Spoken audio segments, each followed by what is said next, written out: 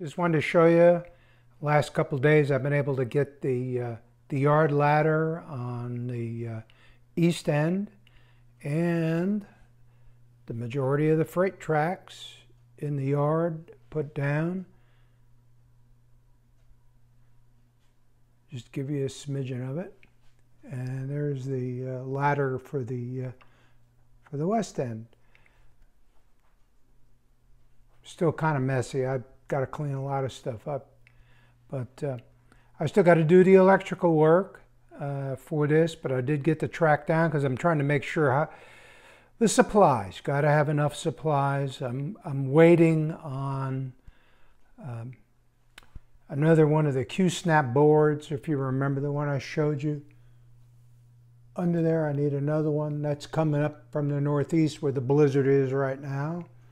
And I need uh, a left-hand curve turnout here and another one for over this this area here for coal cars going uh, over here to the uh, the power plants.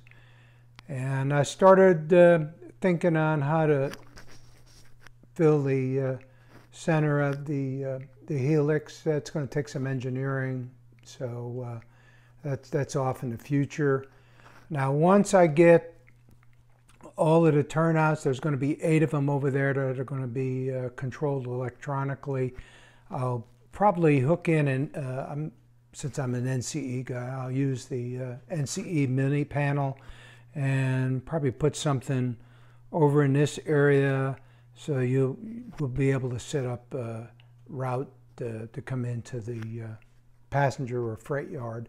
And the ones that I can reach from standing up will, will remain uh, uh, manually controlled, and all the ones on the uh, on the west end will be uh, manually controlled.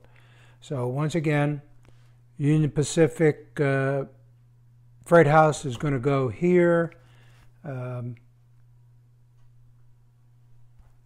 City Ice will go here.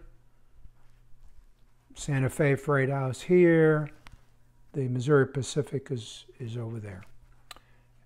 So, but anyway, that's uh, kind of what I did. Uh, I got to get ready to go to the San Antonio uh, train show, uh, not this weekend, but the following weekend. And football all weekend will keep me away from working on the layout.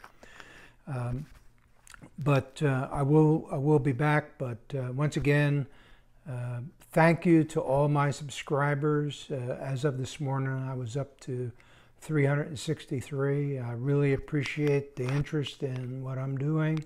And if anybody's got any questions on anything, feel free to ask them. And uh, thank you guys for watching all my stuff. Appreciate it. Bye-bye.